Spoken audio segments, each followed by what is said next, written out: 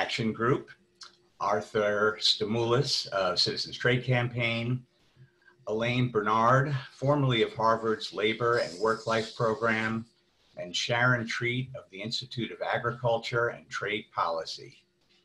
Each of them is going to speak for about seven minutes, and after that, we're going to take as much time as we have left for your comments and questions. You don't have to wait until the end to chime in though. At the bottom of your screen, there should be a Q&A button that allows you to type in questions or other brief thoughts for our panelists as they come to you. If you don't see that button on your computer or phone app, you may need to click on or touch the screen for it to actually pop up. It's also possible that it may be under the More button, sometimes represented by three dots. But if you play with it a bit, you should be able to see that Q&A button.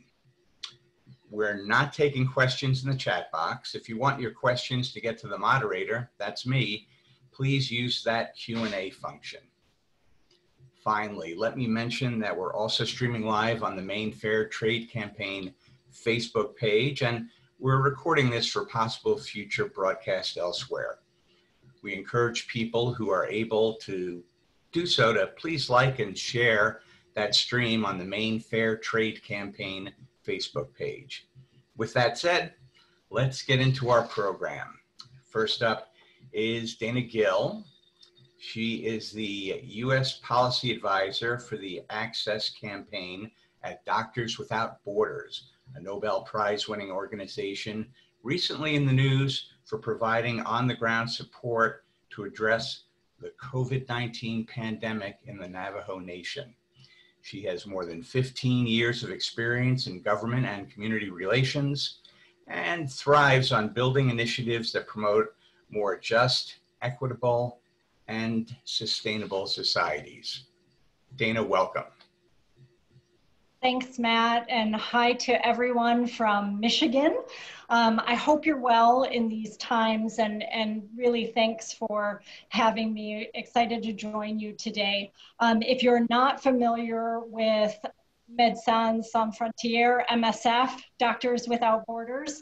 Uh, we are a medical humanitarian organization operating in more than 70 countries around the world. And typically our product projects happen in low and middle income countries, but due to the unprecedented nature of uh, the COVID-19 pandemic, as Matt shared, for the first time in our history, we find ourselves working in developed nations, including countries in Europe and Canada, and in multiple project sites here in the United States. Um, I work on access to medicines issues specifically, uh, through the Access campaign, and MSF created the Access campaign 20 years ago uh, to confront the problem of not being able to access and or afford the medical tools and treatments that they needed on the ground to, to, to help the people that we serve. Um, and if, uh, if we can be on the third slide, I can't actually see which slides we're on. So if we're on slide number three, we're in good shape. And uh, it should say the need during COVID. Perfect, great. Um, so of course, there are so many pressing medical priorities that MSF and other groups are dealing with all of the time, but indeed our operations have had to shift to COVID-19 and we, like the world, in order to um, confront this virus, are going to need vast quantities of effective, approved, and affordable tests, treatments, vaccines, and supplies. Next slide. So, what stands in the way of that need? Um, well, first, of course, we're confronted with the fact that there's no coordinated mechanism, no coordinated effort. Every government is uh, dealing with their response in a different way. And here in the US, we're seeing that play out with the federal governments and the states uh, having totally different approaches to this virus. Next step. And then we have all of the historic issues that impact drug pricing and drug availability at play here. COVID is new, but these issues aren't new. We've been dealing with this for decades, right? So next slide. And in this context, uh, one of the main areas that MSF has worked for a really long time and is continuing during the time of COVID is calling for uh, no patents or profiteering um, to get in the way of, of our response to COVID-19. Next slide. Um, you know, it can't be business as usual. If the system is allowed to operate the way it normally does, we will no doubt see really high prices uh, and an inability to get the supplies and medications we need. We've already seen that with PPE. We've already seen it with ventilators and tests, right? And, and what happens with, with upcoming treatments and vaccines. Um, so a quick patents 101, because we talk about uh, no patents, no profits, what does that mean?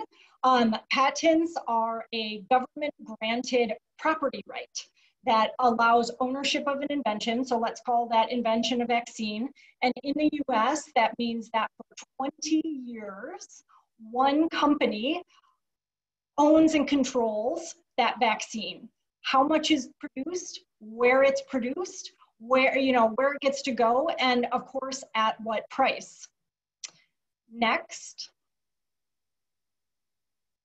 And for decades, we've seen plenty of examples of how when you remove those IP barriers, those IP protections, those patent protections, multiple, generally generic producers are able to come into the market, produce a lot more product at a much lower price. Um, so this example of um, HIV medicines uh, took years of legal battles to get rid of those patent protections. And in this time of COVID, we don't have the luxury of, of time to make sure that there are multiple producers and low prices. Uh, next slide. So at any time, these types of IP barriers are uh, suboptimal. These monopolies are suboptimal. But in the time of COVID-19, they are downright irresponsible and dangerous. Um, and as you know, through, through all of your great work, these protect, protections not only exist in US law, um, but they are enforced and ensconced in trade agreements, right? And the US tries to export these corporate protections all around the world through agreements and, and then, you know, different protections like sanctions. Uh, next slide. So don't worry, I'm not going to go through this whole slide, um, but no doubt through your work, you are familiar with TRIPS flexibilities, um, which are widely used by countries to gain access to lower priced generic medicines, particularly through the use of one of the tools known as compulsory licensing. And uh, I'll just take a moment to stop and say thank you because I know we've worked on a lot of similar issues and been in partnership you have with my predecessors fighting the TPP and other negotiations and agreements that would erode these types of principles. So, so thank you for that. And next slide. But even during this pandemic, sadly, uh, we are seeing business as usual from the US and pharma. The US Trade Representative is bullying countries through the special 301 report that want to make uh, use of their, their, their rights and TRIPS flexibilities. Uh, the USTR is naming and shaming countries that want to make a broader use of compulsory licensing and the other legal tools they have to ensure there's a proper supply of what they need and at low prices. Um, and then, you know, really distressing here in the US, refusing to put any provision um, on US companies, even though we're giving them billions of dollars of, uh, of taxpayer money for the research and development of these, um, of these tools. So billions of taxpayer dollars with no strings attached. Next. So two more slides. What are we doing about it? MSF uh, and hundreds of civil society groups around the world are being vocal online, in the media, with government and multilateral institution engagement. Um, on the trade side specifically, calling for a halt to trade negotiations at this time where countries really need to be focused on what's, what's happening and what they're doing for their citizens on the ground to eradicate this virus and stop the spread. Um, we're calling for protection of full TRIPS flexibilities, which of course countries like the US are trying to erode at this moment, um, calling for mandatory sharing of information so that IP monopolies don't stand in the way of adequate supply, um, and calling for more and more governments to use compulsory licensing and the other tools they have to keep companies from controlling production and pricing that isn't in the public's best interest. And in the long run, we really need to use this moment to look for a, for a better system. Next slide. We have seen some companies starting to do the right thing on their own, but certainly not enough. Next slide. And other countries that are taking um, actions to make sure that they're using their tools or putting into law that they can that they can override patents um, and use their TRIPS flexibilities and more and more countries need to do this. So thank you. Um, certainly not enough time, but uh, but uh, glad to be with you and we'll look forward to answering questions later. Dana Gill, thank you very much for that presentation. We're going to move on now to uh, Bryn Gay. Bryn is the Hep C project director at the Treatment Action Group, an independent activist and community-based research and policy think tank fighting for better treatment, prevention, vaccines, and a cure for hepatitis C, tuberculosis, and HIV. Prior to joining the Treatment Action Group, she provided trade and intellectual property expertise with the United Nations Development Program in Sri Lanka and Thailand and the North South Institute in Canada. She also led ACT UP campaigns to address H high HIV and HCV medicine prices. Bryn, welcome and thanks for being here. Thank you, Matthew. Um, I hope you can hear me. All good? Cool. Um, thank you for that wonderful introduction and also just the opportunity to speak with all of you. Um, this is an incredible group across the Northeast and I'm really privileged to be part of this discussion. Um, as Matt mentioned, um, I will be discussing Pharma Lies, People Die, busting myths about medicine development. Next slide, please. So I usually like to put my uh, takeaways up front. That way you can fast forward, you can have a coffee, um, come back to this. Um, but my key takeaways that I hope you'll um, that will you'll stick um, will stick in your mind are that um, the first um, main takeaway is that publicly funded research and development drives true innovation, not stronger intellectual property protection. And secondly, um, government has the power to use legal flexibilities such as compulsory licensing um, outlined by Dana um, to produce and lower prices. And thirdly, um, to note that solidarity, global cooperation, open science are among the essential principles to integrate in trade policies to fast track access to COVID-19 technologies for everyone. Next slide, please. Okay, so um, Treatment Action Group developed this myth, busting uh, fact sheet to help us prepare evidence-based arguments uh, to some of the common myths that we're hearing um, that are being circulated by the pharmaceutical lobby, um, as well as by policymakers and the media. Um, and this fact sheet, I pulled out a few, um, and the three um, that were most relevant for this discussion today. Um, the first one that we, we often hear is that um, the pharmaceutical industry, that big pharma is driving innovations through its R&D investments. Um, in fact, governments and philanthropy are funding over 40% in overall R&D costs, particularly the earlier and riskier stages. Pharma then privatizes this work under patent protection, um, and they end up cornering the market exclusively for around 20 years and sometimes longer. Um, we're seeing that in a lot of the different free trade agreements. When this happens, US taxpayers are um, paying twice for patented medicines, first in the form of government collected taxes um, that fund the research, and then uh, secondly through payer systems such as Medicaid and Medicare um, that procure these medicines. So the sec second myth I think we often hear is that the current drug development model um, works and that it's going to lead to new medicines for rare neglected diseases um, such as COVID-19.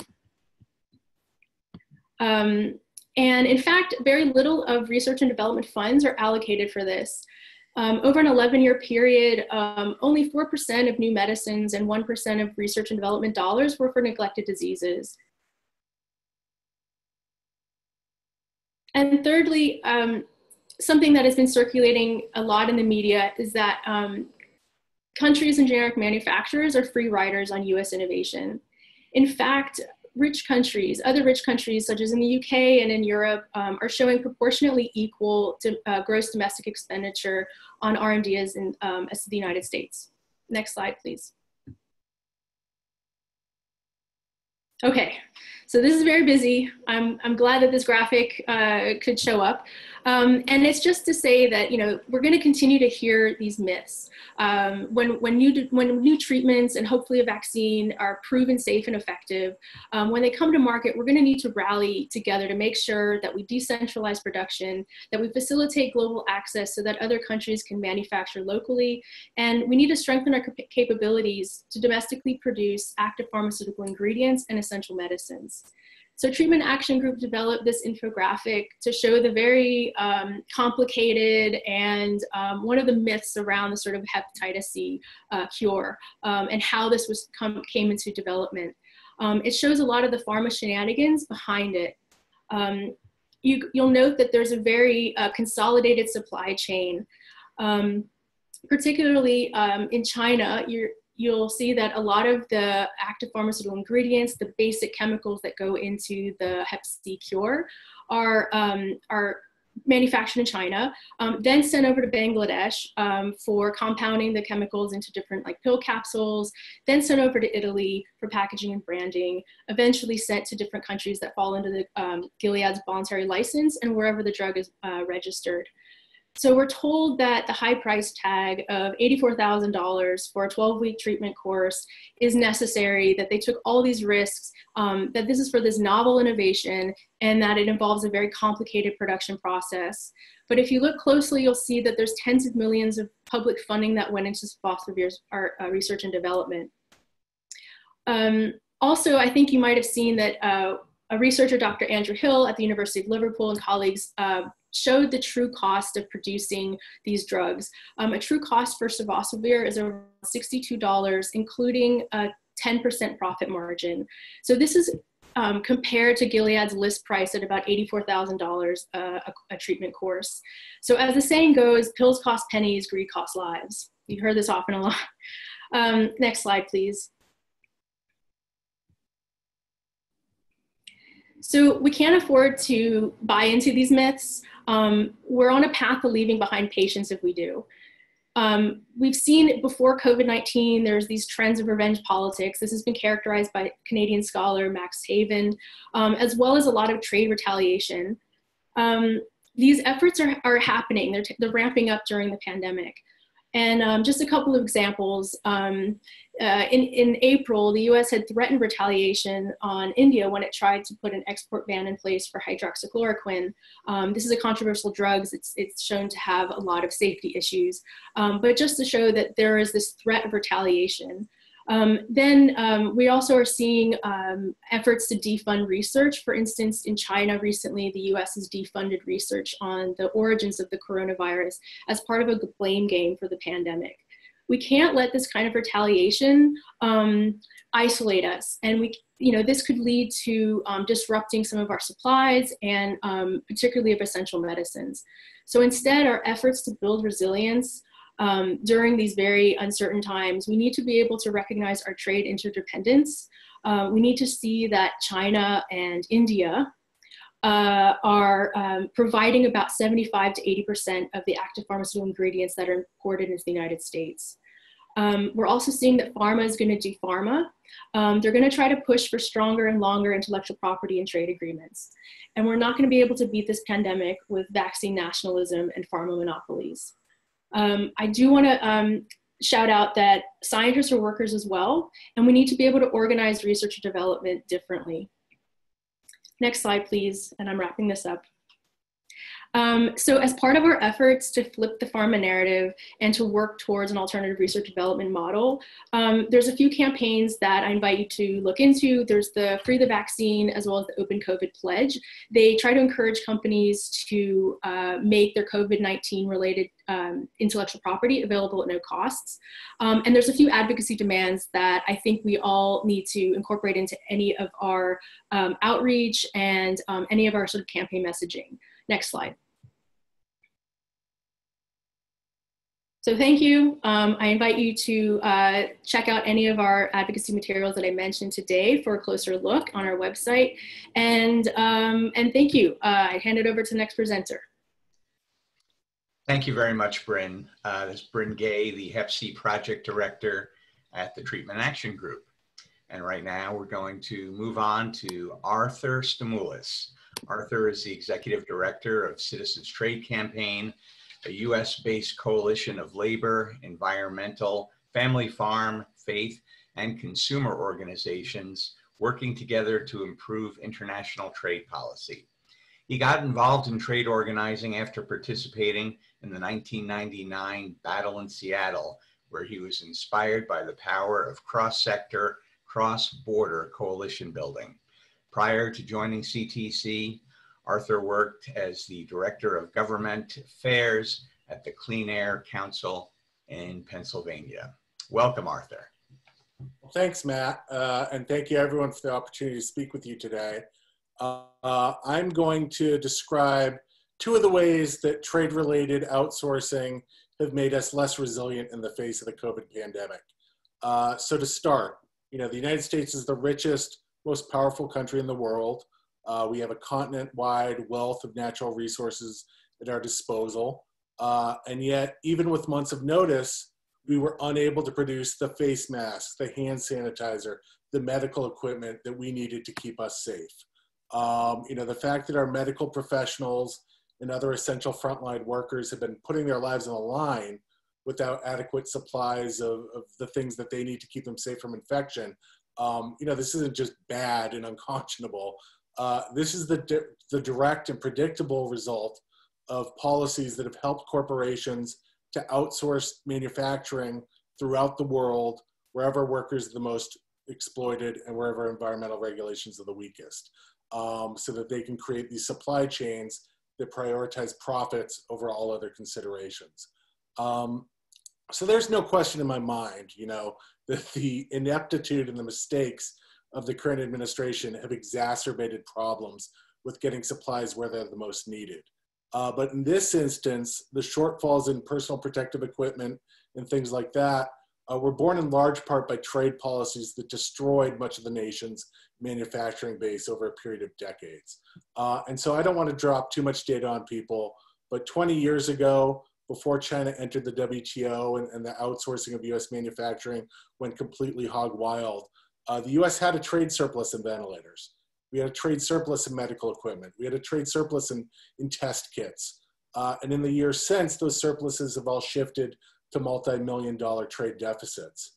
Um, over that same period of time, 99 to 2019, uh, we've seen our deficits in face masks balloon 446%.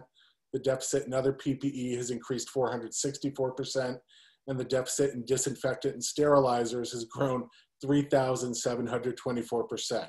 This all according to government data from the US International Trade Commission.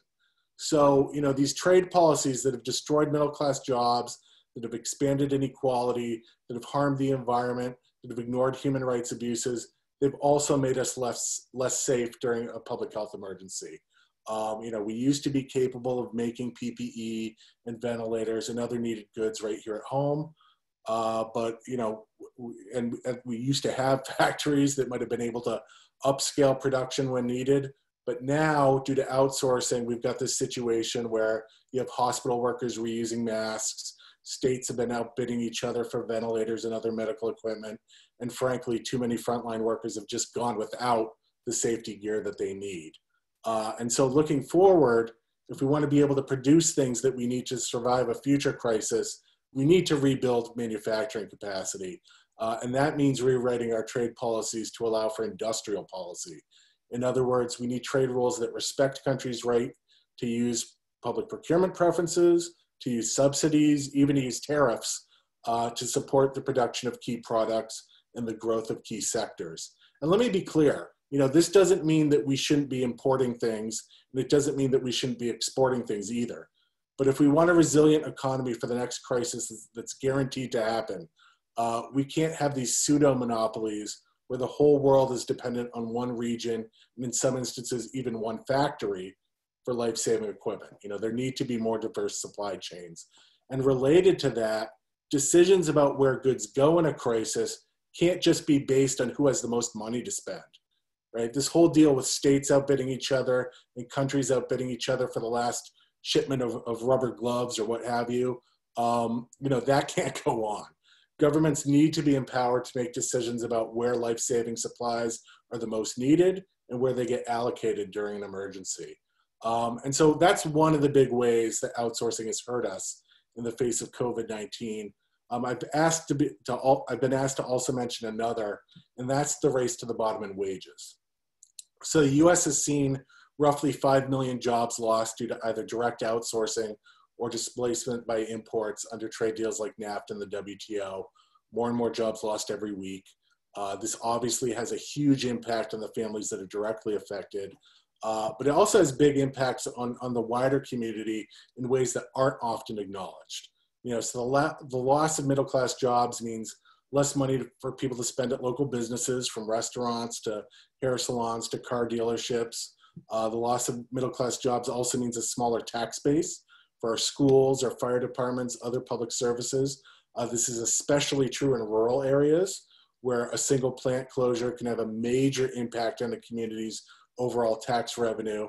And if those things weren't bad enough, even worse, all this outsourcing is putting a very real downward pressure on the wages and the benefits of the jobs that are left. Uh, one study estimates that the downward pressure on wages and benefits caused by outsourcing costs the majority of American workers 5.5% of their income every year. And that's even after the benefit of you know, lower cost TV sets and, and tube socks and other imported sweatshop goods is factored in.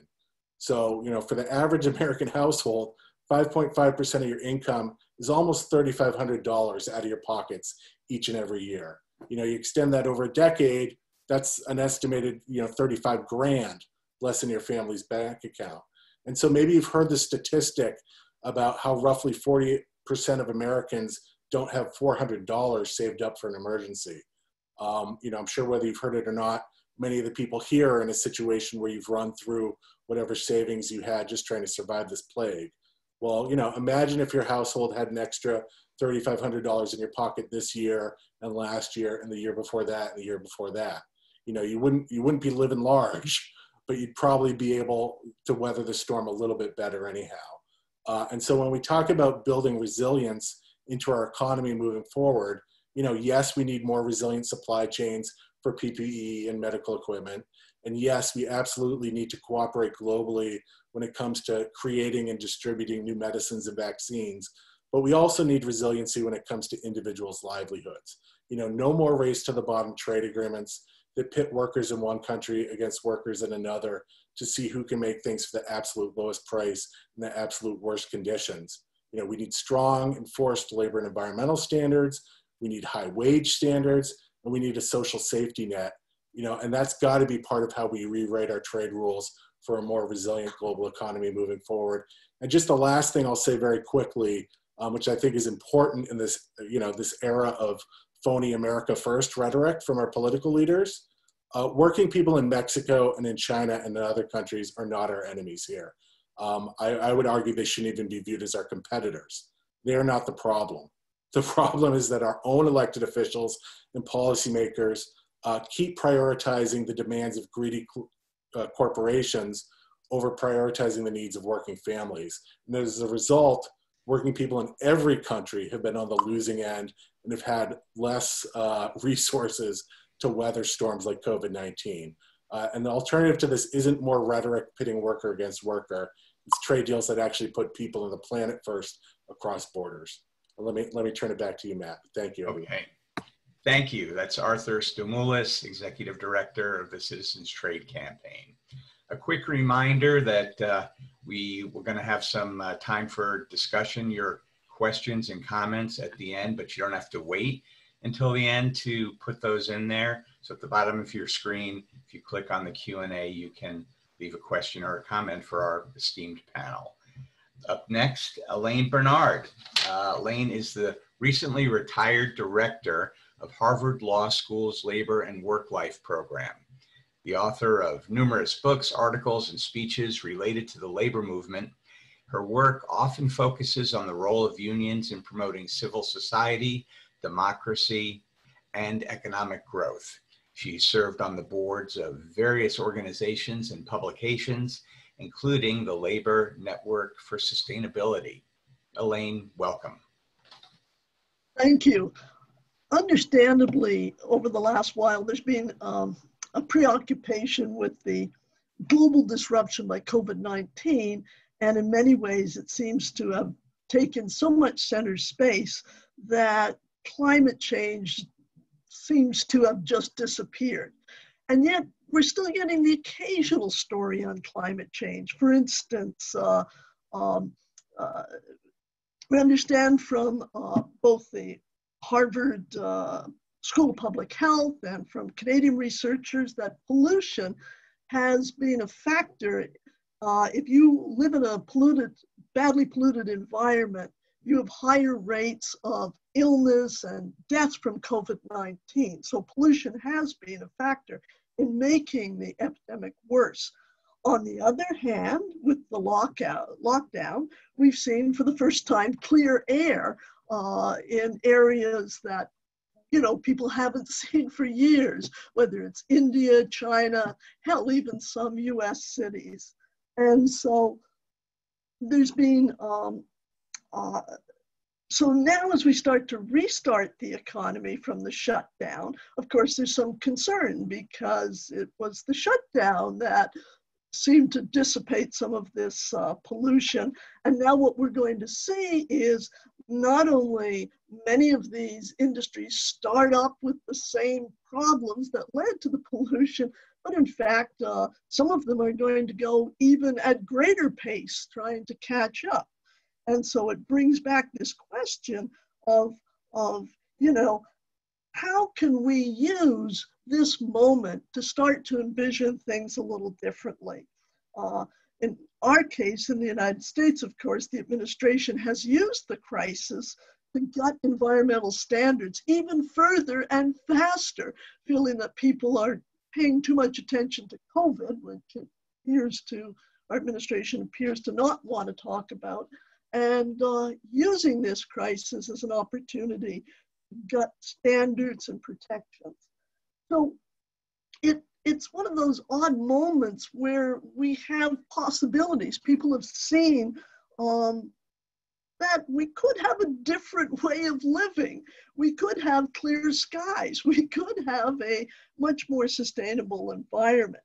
But what is the power that we need to in fact uh, make that possible. Now, COVID has been a tremendous blow to working people. And of course, we keep hearing the economy as if there's an economy other than workers. I mean, you remove the workers, you don't have an economy. Uh, and it's a really good uh, way of remembering that workers are indeed the economy. Coming out of this crisis, there will be considerable job loss. There already is there'll be uh, company bankruptcies. And this is something that we also recognize will be happening increasingly with climate change. So it's important here as we come back, bring the economy back to, to look at this as an opportunity to develop new economic models with a focus more on sustainable, healthy communities we're even seeing, getting a little glimpse at some of how this could happen. whether it's uh, some firms and some communities that have used this crisis to experiment in transitioning to more socially useful production, such as producing, you know, manufacturing firms that never considered producing health products or PP, PPE or ventilators or, or sourcing food and delivery were forced to do that. And now maybe here's an opportunity to see about refitting and redesigning some of our production capacity with social needs at the forefront instead of just always uh, uh, profits. Uh, COVID exposes, as does climate change, that our current capitalist economic model is not sustainable. However, in this crisis, it's also given millions of people an opportunity to glimpse at different types of things that we could be doing that are more sustainable uh, and socially useful. Large numbers of people have been uh, uh, uh forced to use new types of systems, not going to work, but still going to work only online, not physically traveling, but still able to communicate as we're doing here with uh, an online conference. So these things have been available, but there's a huge difference between hundreds and thousands of people doing it and millions. And that's what we're seeing with this crisis, which really opens a lot of opportunity in my mind. Uh, what we've also seen is the idea that things that were seen as it'll never happen in our lifetime, you know, uh, uh, not something that would ever be possible, all of a sudden, almost in a blink of an eye, became possible uh, and became imaginable. And that I think is really important and is uh, for us to think about today. And when we start to force us to focus on human needs as a priority, then a lot more things do become possible. The pandemic, climate change will both force us uh, uh, to remember that, and uh, I totally agree with Arthur on this, that we're an interconnected community. There's no such thing as whether it's a one state or one country solution. The pandemic showed that in, in a very clear illustration. But that's also true with trade. That's also true with the economy. So the pandemic has exposed in particular here in the US, the pathetic state of our labor relations and workplace governance systems and worker protection. I mean, here we are, one of the most advanced industrial countries with some of the uh, uh, highest, uh, most educated healthcare workers, and uh, this crisis really laid us low. Climate activists usually call for what's called a just transition uh, for workers in various fossil fuel industries, et cetera. Well, I think the pandemic is, and coming out of the pandemic, is the first shot at looking at what would be a just transition, because that's what we're about to happen now. We are going to transition from the lockdown to the economy. But are we going to go backwards to the same economy that brought us this crisis? Or are we going to start to use some of our ideas around just transition and try them, not just for uh, dealing with coming out of COVID 19, but for dealing with the crisis that we're still in, which is around climate change. And you know, some of the things we've seen is the need for emergency benefits because of the total inadequacy and uh, lack of societal uh, social safety net in this country. Uh, the recognition that we see with COVID 19 that workers have few rights in the workplace in face of life threatening challenges. Uh, that the benefits in the United States that workers receive through work are really inadequate and they're tied uh, specifically to their employer. And so when the employer, you know, goes bankrupt, et cetera, the workers frequently lose everything. Uh, millions of workers have been misclassified and all sorts of uh, as independent contractors and the like. So what we need to think of is a robust system of workers' rights to breathe life into a just transition. And the areas where we've seen it in the COVID uh, fight has been with teachers, healthcare, and grocery store workers.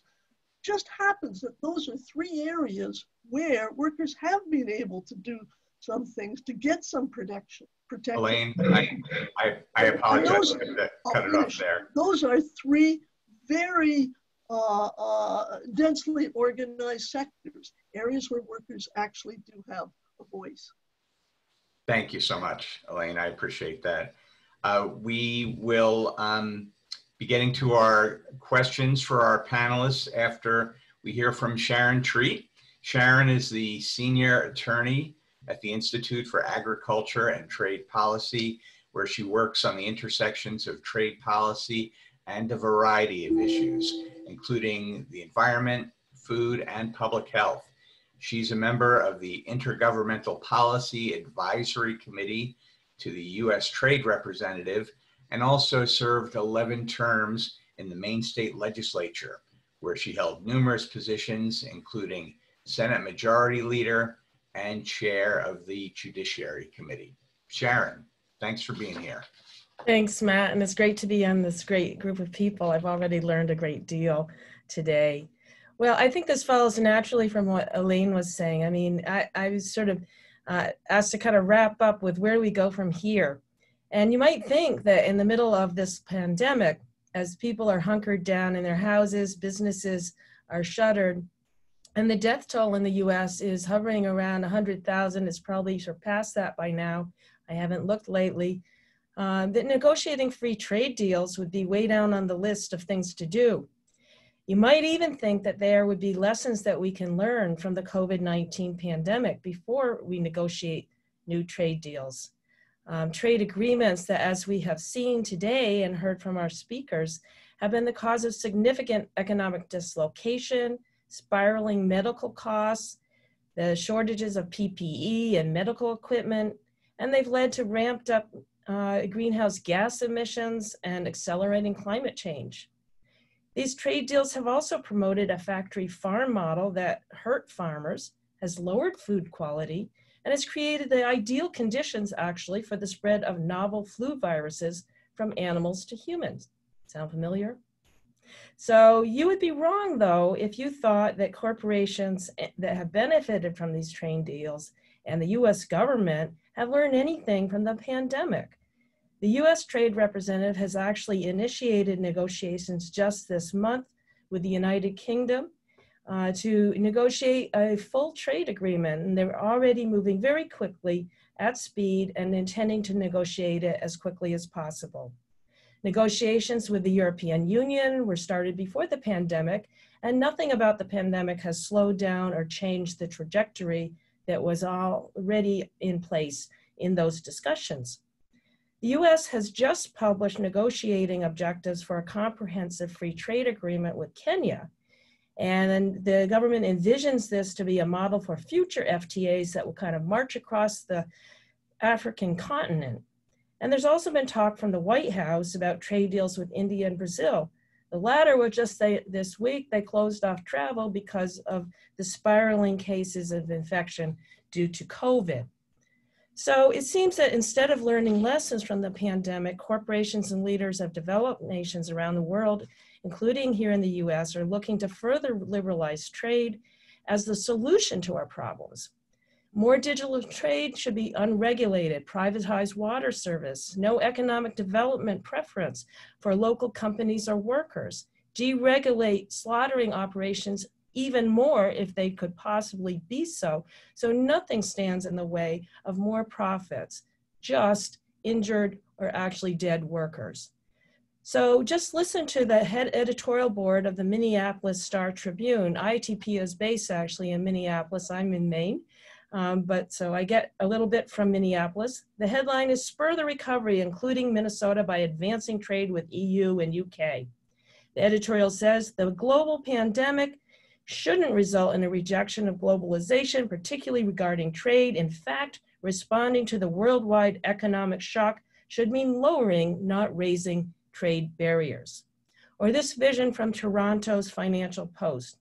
Free trade lets us feed ourselves and the world. To sole source food and shut down borders is almost literally to sow the seeds of famine and economic ruin. It goes on, embracing free trade has never been more important for farmers, food businesses, and families alike. Or our own US trade representative talking about the US Kenya um, negotiating objectives, saying the current health crisis and economic challenges posed by COVID 19 underscore our desire to strengthen our economic relationship with Kenya and lay the foundations for stronger, more resilient economies to address the current and future health crises. Fine words, but actually, what are the negotiating objectives? They look a lot like past trade deals that have resulted in the conditions we've been talking about for the last hour. So you get the picture. We really can't allow this moment to be just another phase of disaster capitalism, where corporations are already figuring out today how to profit from the pandemic, and governments jump in to help with deregulation, more free trade agreements, and economic austerity. Now, there's been a new willingness in Washington to temporarily, at least, beef up the safety net and pump funds into our public health infrastructure. But the US Senate now wants to step on the brakes. It's really unclear whether there will be a retreat from providing needed recovery funds. This could be the time that we were turning the corner on providing health care to everyone. We now understand, if we didn't before, I think everyone here did, that people don't have what they need for health care. We could be making sure that everyone is covered by unemployment insurance at a fair replacement wage, as, as Elaine has just pointed out. Even hairstylists, gig workers, or like myself, nonprofit workers are excluded in many states around the country. We need to be focusing on economic policies that don't rely on massive exports and massive imports that can only be achieved by massive corporations. To fix our antitrust laws and enforce what hasn't been gutted yet should be a priority. And to, we should be supporting international cooperation for research and development and to produce treatments and vaccines, as opposed to international trade rules that incentivize only private profit and undermine the public good, as we've heard earlier today. This is the exact time when we must seize the opportunity to convey a very different message from the one that says ramping up more trade and globalization is the best or the only way out of the depths of the pandemic shredded economy. We can do this starting at the grassroots, as we are today, I think, working at the local and state levels, and making sure that our voices and the voices of so many who have been disenfranchised by the current system are listened to as we head into an election season and hopefully out of the pandemic and its dire consequences. So thank you, and I'm looking forward to our discussion. Thank you very much, uh, Sharon, Sharon Treat. We have quite a few comments and questions from our viewers today. I don't think we'll have time to get to them all, but there are a few that we should probably uh, take a look at. One question was a concern about whether uh, the pandemic will be used as a pretext by any uh, transnational corporations to further automate their manufacturing. Does anybody have a thought on that? Arthur, maybe maybe you'd like to take that. Yeah, sure. I'm happy to jump in. Um, you know, as, as Elaine said, uh, the pandemic has suddenly made things that were impossible possible. And so I think it's really important that we start, you know, capturing the narrative of what should be coming out of this pandemic and how we rebuild our economy moving forward to become uh, more resilient. Unfortunately, you know, like like Bryn said, pharma's not going to stop pharmaing, and uh, the Chamber of Commerce is not going to stop, you know, chambering in terms of pushing outsourcing and other problems. Um, you know, automation is one, outsourcing is another very very big one, um, and we're already hearing, you know, as um, as Sharon mentioned, you know, corporations pushing for new business as usual trade agreements and and sort of doubling down on the narrative that these free trade agreements are the only way to to rebuild the global economy that's currently suffering right now. Um, and so, uh, yes, we should absolutely expect uh, corporate interest groups to keep doubling down on the same things that they've always pushed for and the same sort of responses they've always had. Uh, and I think it's really incumbent upon us to try to reshape the narrative in terms of what this moment means and what we need moving forward in terms of, I mean, frankly, equality for workers, you know, within the United States and across borders, uh, but also for the environment and access to medicine uh, and support for family farmers and some of the other issues that we've discussed today. Another question uh, from a viewer. Do pharma companies use higher prices in the United States to subsidize lower prices elsewhere? If so, would the companies make sufficient profit if the US prices were comparably lower? Um, Dana Gill, would you be interested in taking that one? Yeah, and I'm sure Bryn has a couple of things to say on this as well. There are so many policy options and opportunities here. And as I discussed in uh, my presentation, you know, a huge issue at play here is that pharmaceutical companies have monopoly power and they get to charge as much as they want here in the United States with no strings attached, right? And they'll often use, I, I really liked Bryn's slide about busting the pharma myths, right? We'll often hear that they must charge these high prices in order to recoup the research and development costs that go into, um, into these treatments and vaccines. But let's use COVID as an example. We're seeing an unprecedented amount of public funding for research and development going towards um, tests, treatments, and vaccines. Billions of dollars. Just a, on back of the napkin sketch that, that we did in the office recently was, was a tally of already more than $30 billion in, in US taxpayer funding. Um, so if the United States government is paying for your research and development, where is your argument about needing to to charge high prices stand, right? And so that's just in the time of COVID. But we know that on a, on a regular Tuesday, um, the NIH and, and other public bodies are, are uh, contributing up to 40% of the research and development that, that stands. And I think one of the most important, really easy policy steps we can take now and why it hasn't been done is inexplicable, is calling for transparency about where these dollars are going, right? How can we compare what a pharmaceutical company is saying they need to charge here versus anywhere else if we can't see the numbers? So there is a real need, particularly during this time where billions um, around the globe, I just gave you the US figure, but we know that other governments, other uh, multilateral entities, other philanthropic entities are stepping in to make sure that what uh, needs to be developed can be developed and as quickly as possible, um, but with no strings attached and with and with no transparency at this moment, right? So we really need to to take some of these policy steps forward. Transparency, IP reform, attaching other um, attaching other stipulations to the dollars that are that are coming, so we can bust some of these myths about why the prices need to be as high as they are. Clearly, it's not working. It's not working in the U.S. It's not working around the world, and we we need to do some different things. I'm sure Bryn wants to add to that, so I'll, I'll stop there. Can I jump in real quick? Um, sure. Yeah, just to reiterate, you know, um, I do think you, you'll see from like I think the Kaiser Family Foundation has has shown that you know the U.S. is paying um, the highest in terms of um, healthcare costs and in terms of the, the high drug prices.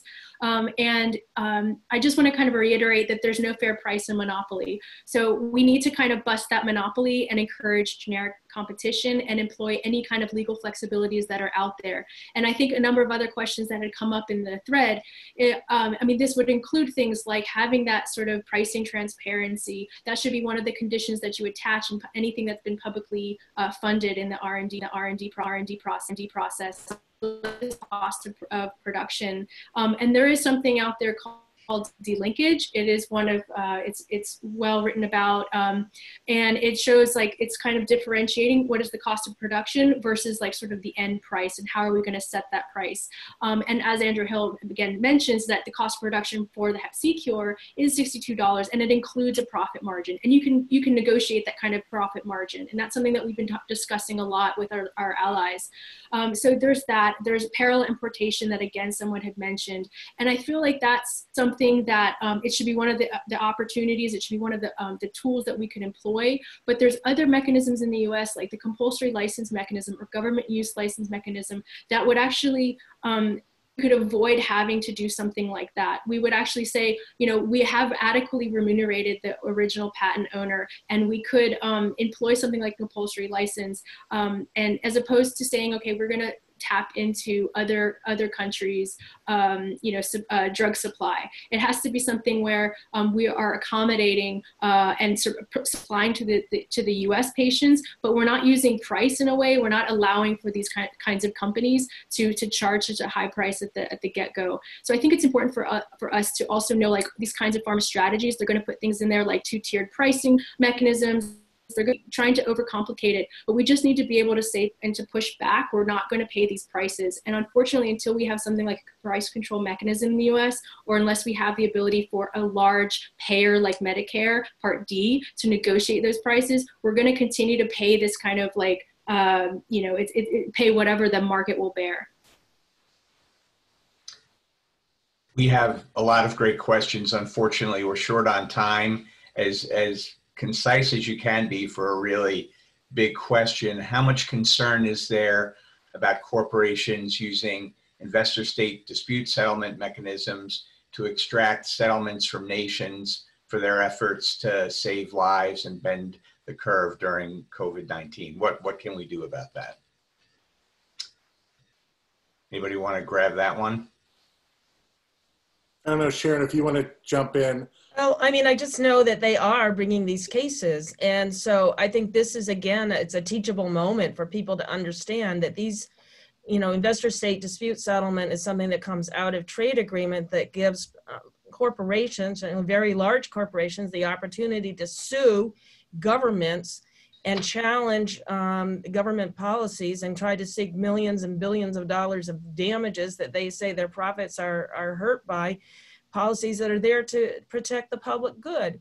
And this is something that, you know, has been scaled back some in the USMCA or new NAFTA, but it should be absolutely not part of any new trade agreement going forward. And we need to make the case. And I think that one of the opportunities, Elaine talked about opportunities with the COVID pandemic, and we have opportunities to explain to people about what some of these things are and understand have much better understanding about how what it really means to their lives and to the lives of everybody else around the world when these tools are available and they're being locked into um, these treaties and trade agreements around the world uh, and you know that unless we rethink how we do our trade policy in the future and you know we're going to be doomed to continue to have these very bad policies in the future. And you know that's going to happen unless we really make the case right now very strongly and clearly when people's attention is focused uh, on, on, what's happening right now.